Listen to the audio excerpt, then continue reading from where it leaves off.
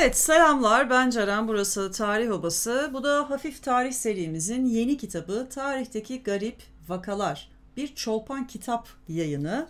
Dağ ve Yıldız üyelerimizin seçimiyle karşınızda. Şimdi bu kitabın en önemli özelliği ne biliyor musunuz? Sabahattin Ali tarafından çevrilmiş olması. Çok tatlı değil mi? Bence harika. Ve Sabahattin Ali çevirisinin tadını da alıyorsunuz bütün metin boyunca. Bu da çok güzel. Yazarı Max Kemerich diye gerçekten hakkında neredeyse hiçbir şey bilmediğimiz bir Alman tarihçi, kültür tarihçisi. Çok ilginç bir adam. Çünkü e, böyle e, hem hakkında doğru düzgün bir bilgi yok hem de hayatının başlarında hani ortalarına kadar diyelim gayet bilimsel, akılcı bir tarihçiyken bir noktadan sonra arkadaşlar okültizme sarmış ve Nostradamus'un kehanetlerine sarmış ilginç bir insan. Kitap genel olarak tavsiye edilir mi? Edilir. Çünkü hakikaten çevirisi çok güzel. Bir de tam aslında tarih meraklısı tabir ettiğim insan tipine hitap eden bir şey. Böyle Avrupa tarihinden küçük küçük anekdotlar var. Küçük küçük bilgiler alıyorsunuz. Bu gerçekten çok eğlenceli kılıyor kitabı. Şimdi evet biraz bilgi vermeye geçelim. Kitabın dışsal özelliklerini de sevdim fakat şu açıldığı zaman biraz daha rahat açılabiliyor olsa daha mutlu olacaktım ne yalan söyleyeyim. Ee, satır arası mesafesi, mizampajı bunlar okumaya engel hiçbir şey yaratmıyor bu arada. Onu da söyleyeyim rahat okunuyor. Ama şu cilt daha rahat açılsa çok daha memnun olacağızdı. Yani daha iyi olurdu. Şimdi Maximum Philip Albert Kemerich, Alman filozof, sanat tarihçisi ve yazar. Kısaca Max Kemerich deniyor kendisine. 1876 doğumlu Alman, şehir tarihçiliği, felsefe, antropoloji, ekonomi alanlarında çalışmış. Münih Gazeteciler Yazarlar Derneği ile Viyana Kültür Derneği onursal üyeliğinde bulunmuş. 1932'de Münih'te yaşamını yitirmiş. Şimdi Dinçer Apaydın Bey kitaba çok güzel bir giriş yazmış. Max Kemerich'ten Sabahattin Ali'nin kitapla buluşmasından nasıl çevirdiğinden bahsetmiş. Uzun uzun güzel güzel anlatıyor. Başladı kültür kuriosa. E, bu da şey anlamına geliyor. Hani bu kitabın e, orijinalinin tam karşılığı tarihteki garip vakalar kültür tarihi şeklinde geçebilirmiş. E, oraya atfen bu başlığı vermiş. Ve de Sabahattin Ali'nin yazdığı giriş yazısı var. Çok kısa, çok güzel gerçekten. Kitap ilk baskısını kaçta yapmış? 2020'de yapmış arkadaşlar. Ama ondan önce Sabahattin Ali 1936 yılında bu kitabı çevire çevire Ulus gazetesinde tefrika etmiş. Yani ne demek tefrika? Bölüm bölüm yayınlamış. Tabii ki şu andaki gazeteler ve 1936 yılının gazetelerini karşılaştırırsanız bugünkülere gazete demezsiniz. Bunu söyleyeyim. Ben gazetecilik tarihi de çalıştım, basın tarihi de çalıştım. Oradan biliyorum yani. E, milli mücadele dönemi gazetelerini bile çok daha nitelikli bulursunuz. E, bunlar gazete ise bizim bugün o büfelerde satılanlar nedir diye sorarsınız. O derece aralarında dağlar kadar fark var. 1936 yıllarında da hala gazeteler büyük oranda kültür üretimini teşvik ediyordu. Sabahattin Ali başta olmak üzere onun gibi daha birçok e, aydın insan ve çeviri yapabilen insan, yazabilen insan ya hikayeler yazıyorlardı, o gazetelerde, dergilerde yayınlatıyorlardı ya da çeviriler yapıyorlardı, yayınlatıyorlardı. Yani alıyorsun sen işte mesela haftada bir gün gazetenin bir bölümünde bir büyük hikayenin bir bölümü yayınlanıyor. Dizi izler gibi yani diziyi metin olarak gazeteden okur gibi düşünün. Evet şimdi e, şundan da bahsedelim. Şuradan biraz okuyayım. Dinçer Apaydın Bey'in girişinden. Çevirmeni Sabahattin Ali tarafından bu kitabın sonuna eklenen mütercim tarafından ilave edilen son ve garip bir fıkra başlıklı kısa yazıda kendisine ve eserlerine dair bazı bilgiler bulunurmuş Max Kemerich Bey'in. Buna göre bu yazarın Alman imparator ve kral ailelerinde hayat müddeti ve ölüm sebepleri çok ilginç şeyler çalışmış. Yani Alman e, imparatorlarının, kraliyet mensuplarının hayat süreleri ve ölüm nedenleri üzerine çalışma yapmış. İnsan hamakatının yani aptallığının tarihi. Daha dün bu kanalda aptallarla ne yapmalı diye bir kitap incelemiştik hatırlarsanız. Enteresan bir tesadüf oldu. İnsan aptallığının tarihi. Yani 1900'lü yılların başında çalışıyor bunu. Bence çok ilginç gerçekten. İstikbalden haberler, gelecekten haberler. İnsan tarihinin ana kanunu, tarihin ve Almanya'nın istikballerinin tayini, mistik adamın dünya görüşü diye başka kitapları da var. Ne var ki Sabahattin Ali Kemerih'in eserlerinin gittikçe bilimsellikten uzaklaştığını hatta kendisinin de tarihteki garip vakalarda alay ettiği insanların konumuna düşerek çevresine bilimle ilgisi olmayan bir kitle topladığını ifade eder. Acaba adam gittikçe delirdi mi ya? Veya deneysel bir şey mi yaptı? Ben de bir deneyim bakayım oluyor mu? Böyle mi dedi acaba?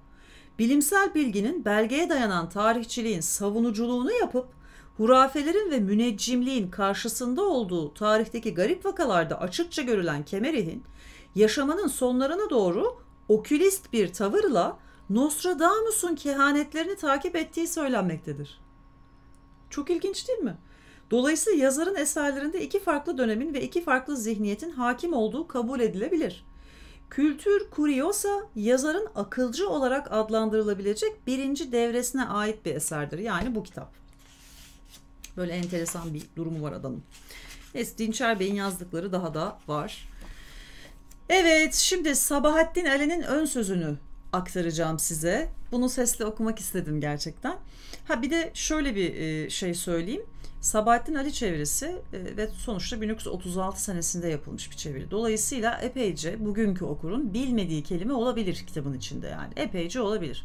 Ama e, bilmediğiniz kelime epeyce derken mesela bir sayfada 5 tane bilmediğiniz kelime çıkabilir. Arapça veya Farsça. Bence anlamayı zorlaştıracak bir şey değil bu. Ama yine de anlamak isterseniz artık online sözlükler var. Kubbe altı lugat yazın Google'a e, okurken bir yandan pıt diye oraya yazıp ne olduğunu bulabilirsiniz. Gerçekten çok basit bir işlem. E, ya yani online sözlükler yardımıyla da rahatça okursunuz yani kitabı. Şimdi şöyle söylüyor Sabahattin Ali başlamadan önce. Alman müverrihlerinden yani tarihçilerinden Max Kemerich'in yazdığı bu eser bir anekdot dergisi değildir. Çünkü zikrettiği vakaların hepsini vesikalara istinat ettirmekte yani dayanmakta, belgelere dayanarak konuşuyor diyor. Ve muayyen içtimai ve tarihi müesseseler hakkında bir fikir verebilecek olan hakikatleri biraz acayiplerinden seçecek olsa da sadık bir şekilde ortaya atmaktadır. Yani biraz garip vakaları seçmiş ama hepsi her şey belgelere dayanarak yazılmış şeyler diyor. Bir kültür tarihi de değildir. Çünkü mükemmel bir levha çizdiğini iddia etmiyor. Bunların ne olduğunu kari yani okur, okurken anlayacaktır.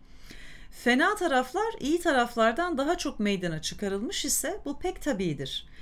Yani kitap boyunca Avrupa tarihindeki olumsuz şeylerden bahsediliyor aslında. Hatta şöyle söyleyebilirim aptallığın tarihini çalışmış ya Keberih. Bence doğrudan iki yüzlülük özellikle kiliseyle ilgili Katolik kilisesiyle anlattığı ilgili e, anlattığı şeyler bayağı kilisenin iki yüzlülüğünden bahsediyor. Diğer pek çok anekdot da yine iki yüzlülük temalı bence. Burada nelere medeniyet denildiği, hakikatlerin boş cümlelerle nasıl örtüldüğü görülecek ve ara sıra bir ışık gibi insanların yaptıkları akıllıca işlerin zikri de unutulmayacaktır diyor. Kitap tamamıyla sübjektiftir ve muharrerin pek dikkate değer saydığı şeyleri kariler fevkalade basit ve ehemmiyetsiz bulabilirler. Kitap subjektiftir. Tabii ki subjektif. Neden subjektif? Adam kendisine ne saçma gelmişse, ne aptalca, ne ikiyüzlüce gelmişse Onları seçmiş anlatıyor ama anlattığı şeyler yalan değil. Bunu unutmayalım. Belgelere istinat ettirilmiş şeyler. Yalnız va- vakıalar gayet objektif olarak anlatıl anlatılmıştır. Hiçbirine bir ilave yapılmamış, hiçbiri çıkarılmamıştır.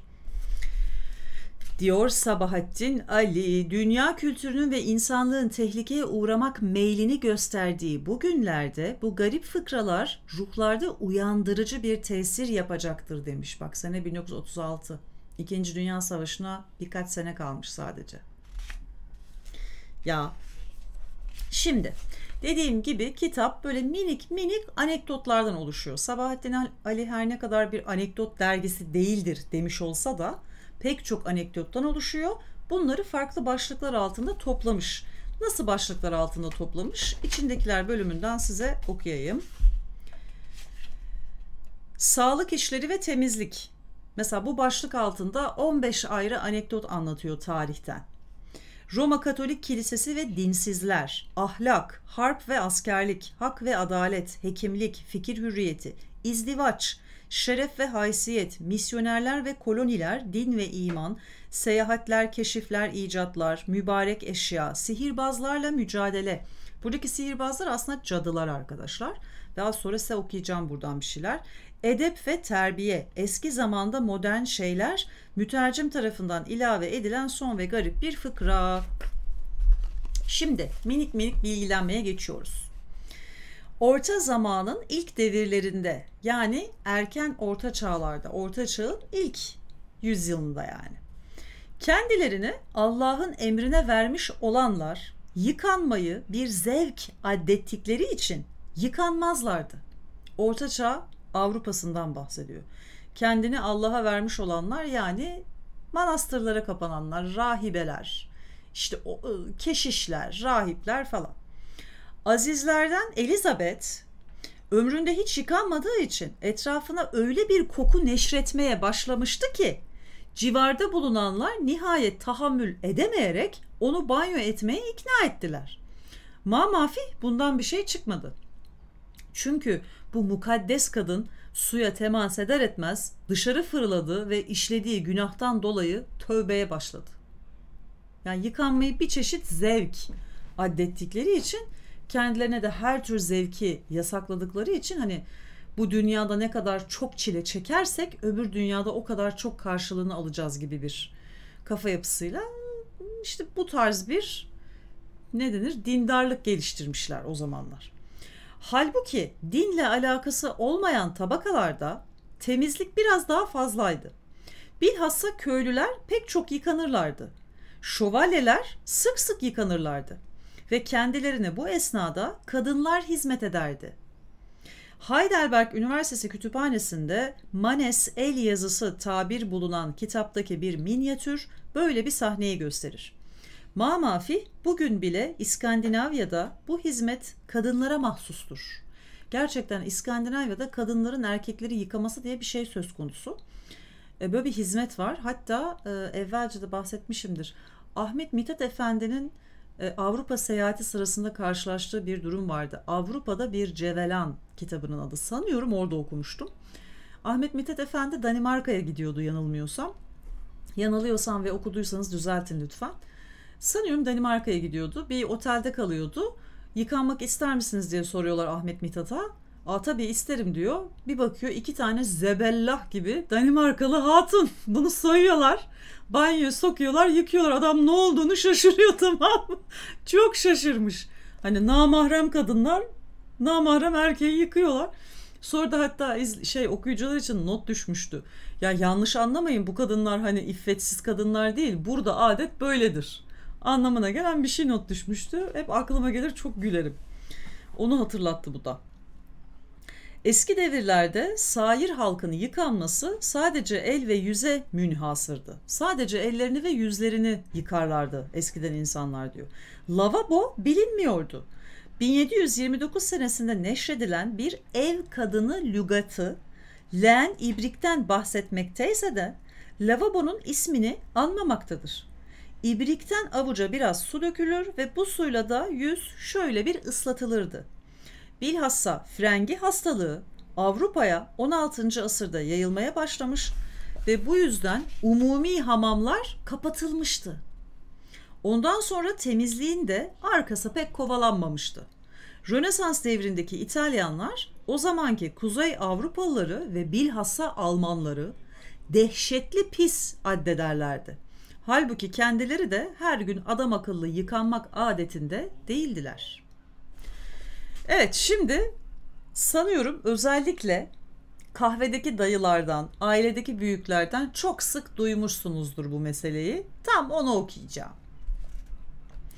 Paris'te 14. Louis zamanında hiç kimse sokakta giderken tepesine pis bir şey dökülmeyeceğinden emin olamazdı. Ancak geniş caddeler biraz emniyetteydi.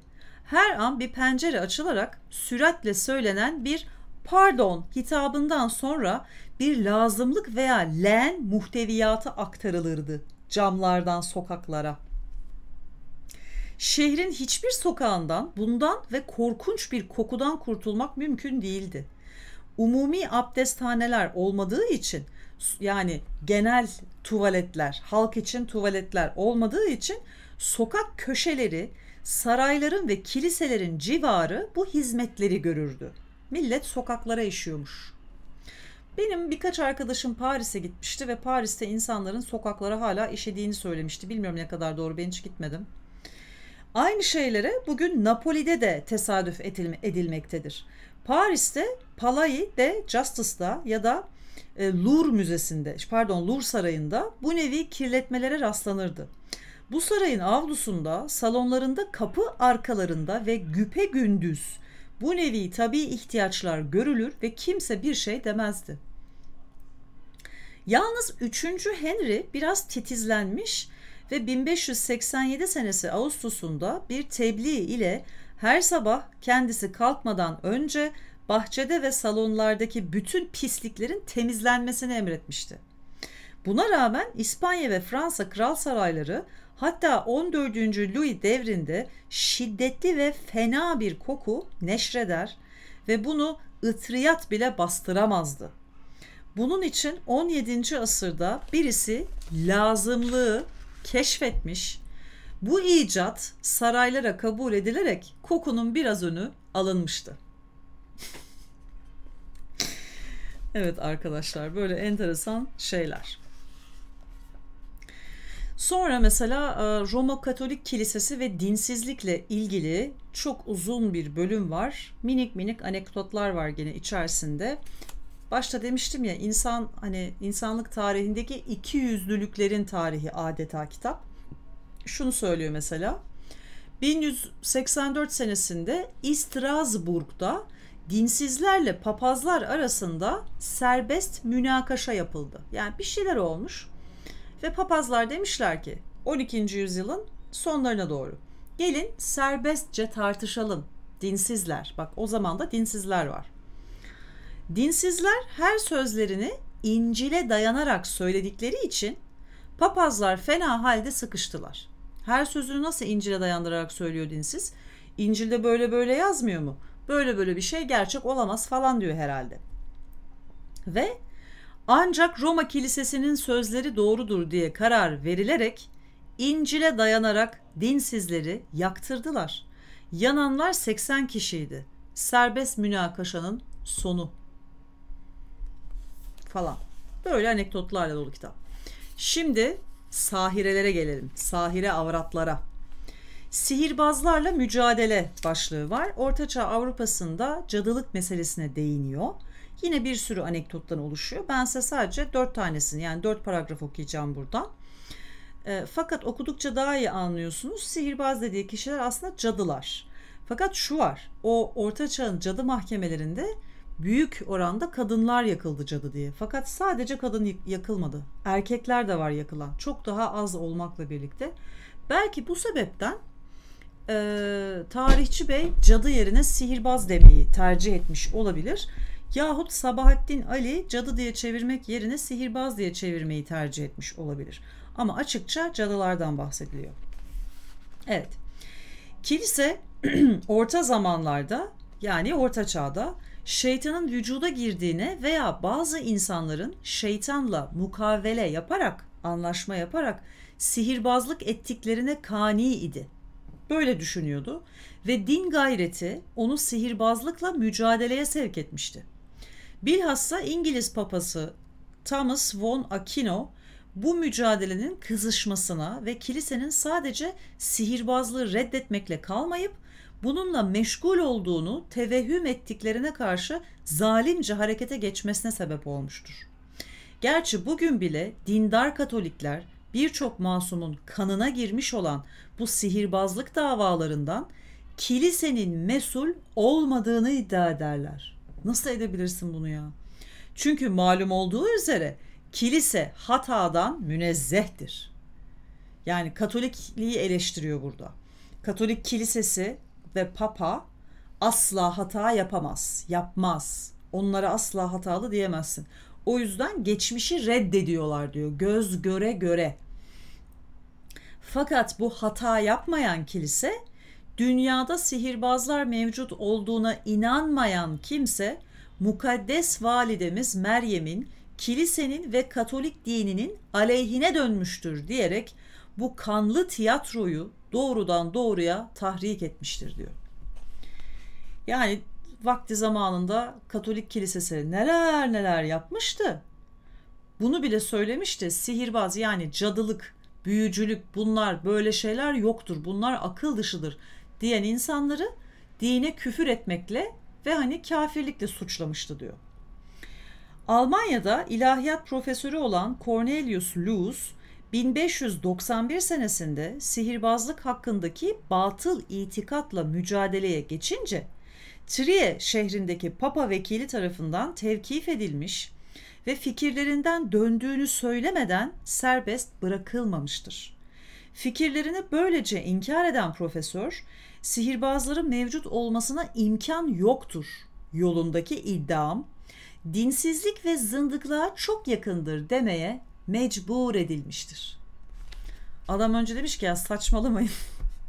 ne cadılığı ne büyücülüğü yok böyle şeyler. Sonra da ay bunları söylemem neredeyse zındıklık demektir affedersiniz deyip canını kurtarmış demek ki. 15. asırda halk arasında pek yayılmış olmayan sihirbazlık itikadını yani inancını körükleyip her tarafa yayan Katolik kilisesidir. Yani Burtun burada şunu anlatıyor. Katolik kilisesi kendisine kurban seçmek istedi. Bir düşman yaratmak istedi. Zaten bunun için başka nedenleri de vardı. Bu cadıların, büyücülerin aslında pagan dönemleri temsil etmesi, eski pagan pratikleri temsil etmesi bunları bu kanalda çok işledik. Tekrar üst üste tekrar tekrar bahsetmeyeyim. E, diyor ki yani hani özellikle kendilerine düşman yarattılar ki halkın ensesine binsinler, tepesine çıksınlar, onları sömürsünler. Onlar üzerinde tahakküm kursunlar. O zamanlar dünyada asla bu nevi saçma şeyler olamayacağını ve sihirbazlığın insan kafasının uydurduğu bir hayalden ibaret bulunduğunu söyleyenler vardı. Fakat bu sözlerin arkasında en büyük düşmanını, aklı selimi gören kilise derhal harekete geçerek bütün vasıtalarını seferber etmiştir. İlk iş olarak Papa 8. Innocens 1484'te bir tamim neşretmiştir. Bir bildiri yayınlamıştır yani. Bu bildiriye göre şeytanla zina etmek, şeytanla ittifak yapmak, erkeklerde akamet ve kadınlarda kısırlık hasıl etmek, Adem'i iktidara sebep olmak gibi şeyler sihirbazların yaptığı şeylerdir. Bunun böyle olduğuna inanmayanlar ne kadar büyük rütbede olurlarsa olsunlar afaroz edilecekler ve icap ederse cezalandırılmak için dünya mahkemelerine teslim olunacaklardır. 19. asır muharrirlerinden Hergen, Papa'nın bu tamiminin bir şefkat ve muhabbet numunesi olduğunu yazmıştır. Böyle de çarpıtmışlar tarihi diyor. Ah ah.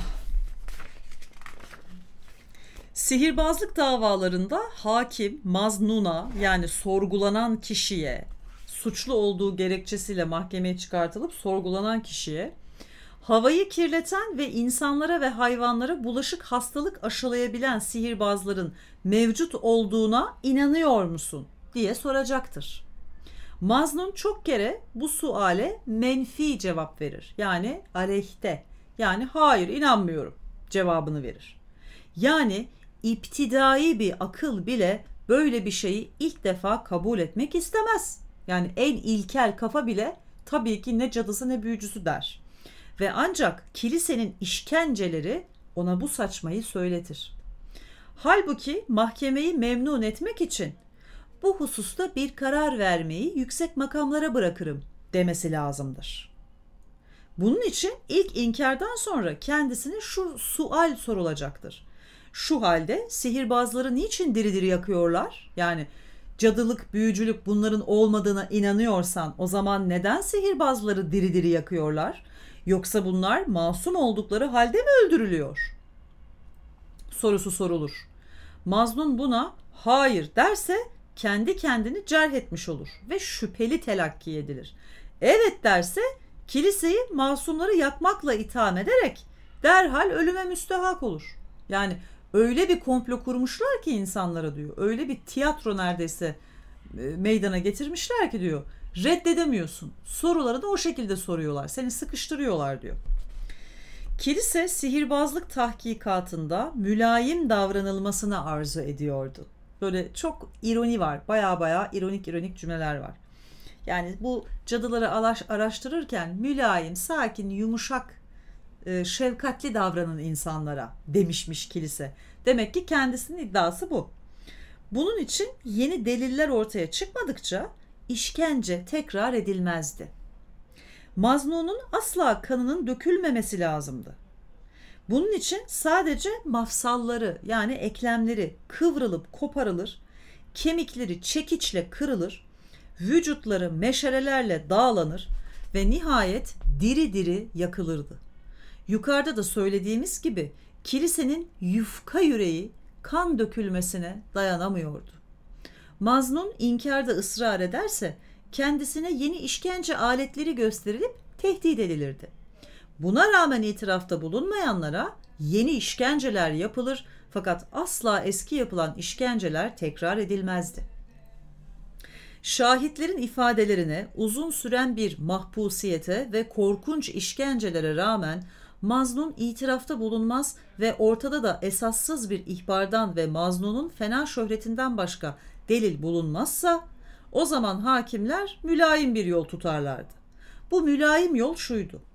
Maznun'a kilisenin itimat ettiği 10-30 kişi kadar müdafaa şahidi bulması söylenirdi. Bu şahitler Maznun'un mensup olduğu sınıftan olacaklardı. Yani papaz, asilzade veya avamdan. Bunları tedarik için Maznun'a bir sene mühlet verilirdi. Maznun bu teklifi reddeder veya bir sene içinde icap eden şahitleri göstermezse yine diri diri yakılırdı. Halbuki herkes kendisinin de sihirbazlık şüphesi altına gireceğini düşündüğü için böyle bir sürü müdafaa şahidi bulmak hemen daima imkansız olur ve kilise bir sene tehir ederek de olsa Maznun'u odun yığınına gönderirdi. Yani kilise resmen kendisine inanmayan, kendisinin onaylamadığı türde insanları özellikle diri diri yakıyordu işkenceler sonrasında diyor. Evet arkadaşlar böyle bir kitap bir de e, evet bakayım ha şu devamını da okuyayım. Kilise kendisine hakikaten düşman olanlara ve olmayanlara karşı asırlarca ateş ve işkencelerle gittiği ve bu gibi korkunç vasıtalarla din ve insanlık diye dünyanın en büyük salaklığını propaganda ettiği halde şimdi nedense pek nazikleşmiş, gül yaprağından incinir bir kız gibi en ufak bir tecavüzden alınmaya başlamıştır.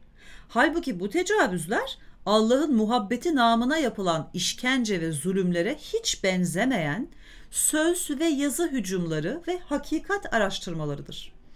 Bugün aydınlık ve hürriyet için dövüşenleri tehdit eden hapishaneler ve polis o devirden kalan tarih, mantık ve ilim hakikatlerine karşı konamayacağını bilmek şuurundan doğan bir korkunun bakiyesi değil midir? Acaba bugün çok sofu bir adamla veya bir din adamıyla konuşurken bizi ancak kadınlara karşı gösterdiğimiz bir çekingenliğe sevk eden hisler onları istihfaf hissinden başka bir şey midir? Halbuki şurası muhakkaktır ki hudutları içinde kalan ve politikaya veya tecrübi ilimler sahasına burnunu sokmayarak din ve metafizik olmakla iktifa eden dindar bir dünya görüşü ruhun ebediyetine, Allah'a, vahiylere inanan bir tefekkür sistemi, bunları tamamen inkar eden bir görüş ve düşünüş kadar akıllıca olabilir. Din devletle alakasını tamamen kesmiş olsa ve kağıtta değil hakikatte de iman hürriyetini kabul ve kendisinin hataya düşebileceğini itiraf etse temellerini hiçbir zaman kaybetmiş olmaz. Bilakis birçok aydınlık ve hür fikirliler kiliseyi bir düşman olarak görmekten ve onunla mücadelede bulunmaktan vazgeçerler. Hatta onun reddedilmesi imkanı asla mevcut olmayan metafizik kanaatlerine belki hürmet bile ederler. Yani din ve devlet işlerinin ayrılmasında görüyor dinin ve kilisenin korunmasını. Çok haklı buldum. Diyor ki din ve devlet birbiriyle alakasını tamamen kesse, kilise kendi başına kalsa ve insanlara saldırıp durmasa, bu insanları sürekli kafirlikle, dinsizlikle bilmem neyle suçlayıp durmasa, onların hayatına müdahale etmese, iman hürriyeti denen şey gerçek olsa, kimse durduk yere kilise düşmanı olmaz. Hatta belki daha bile çok insan çeker. Belki akılcı insanlar bile onun o metafizik anlattığı şeylere inanmayı tercih ederler diyor. Haksız mı? Bana çok haklı geldi. Kilise ve papanın hatadan münezzeh olduğu malumdur. Bütün Katolikler bunu kabul etmişlerdir. Halbuki tabi ilimlerin inkişafı yani e, pozitif bilimlerin ilerleyişi, yükselişi ve insanların biraz daha mantığa yaklaşmaları Katolik papazlarına bile sihirbazlık ve şeytanla ittifak gibi şeylerin mümkün olamayacağını anlatmıştır. Şimdi kilise birçok masumu öldürmüş ve hata işlemiş olduğunu kabul etmemek için bu sihirbaz mahkemeleri faciasıyla alakası olmadığını iddia ediyor. Halbuki ortada koskoca bir tarih var. Demek ki 19. yüzyıl sonları 20. yüzyıl başlarında kiliseyle bu cadı mahkemelerinin cadıların yanmasının bir alakası yoktur falan gibi iddiaları vardı demek ki kilisenin. Onlara gönderme yapıyor. Evet, böyle arkadaşlar tarihteki garip vakalardan size okuyacağım anekdotlar bu kadar. Bence çok eğlenceli bir kitap. Tamamen Avrupa tarihinden bahsediyor. Onun e, belli başlı bölümlerinden bahsediyor. Orta Çağ'dan 19. yüzyıla envai çeşit anekdot var içerisinde ve genellikle konu Roma Katolik Kilisesi, din, dini baskı, din hürriyeti, işte e, akılcılık, ahlak bu gibi şeyler. Bu gibi bir içerikten hoşlanacağınızı düşünüyorum ben pek çok e, pek çoğunuzun hoşlanacağını düşünüyorum. Okuması gerçekten eğlenceli. Hatta e, şey diyebilirim. Yani ben şu aralar deniz kenarında e, Sherlock Holmes falan okumaya kaptırmamış olsam hani bir daha tatile çıkacak olursam yine yanıma Sherlock Holmes kitapları almayı düşünüyorum. Şöyle bir şey okurdum yani. Tatil kitabı olarak da görülebilir. Çok eğlenceli vakit geçirilebilir diye düşünüyorum. Ee, bu kadar benden. Evet Dağ ve Yıldız üyelerimize tek tek teşekkür etmek istiyorum. Nekobos, Ahmet Tunç, Gökhan İncekara, Uras Yassıoğlu, Mehmet Gülebay, Makise, Aslı Tatlı, Tunay Kolu Açık, Tomris, Berna Sagun, Mid Blues, Sevecen Günel, Meliha Çalıkuşu, Emre Ertem, Ilgın Yaren Güneş, Fehime Ergün, Deniz Turgut, Harabi Türk, Celestin, Kayyum, Derya, Yasemin Sungur, Zeynep Özdemir, Tunay Sarı, Homo economicus, Nazlı Turdu, Füsun, Güzel Meriç, Gökhan Değirmenci, Melike Enes, Kemal Süldür, Pınar Üçok Canevi, KK, Beta Tertium, Kübra Nurboz, Burak Yaş, Berk Çetinel, Gökçen İleri, Aydın Sakar, Selin Gülden, Ali Leo, Mis Zencefil, Figen Dost, Hande Ece Yener, Umut Salih Bayrak, Serkeş Baba, Özge Doğan, Hatice TK, Bengü Tekinalp, Velheru Thomas, Merve Uzuner, Zeynep Erdoğdu, Nilgün, Okan, Başak Barış, Seçil Simge Uyar, Pikuin, Gülden Aydın, Mare Serenitatis, Statue Jones, Turambar, Metaforikimsi, Greenbow, Jazel, Burteçin Aksel, Cem Atmaca, Long Nails Girl, Muguyet Muguyet, Utku Güngör, Nida Nida, Süleyman Akbulut ve Ece Sancı. Hepinize bir kere daha teşekkür ediyorum destekleriniz için. Görüşmek üzere.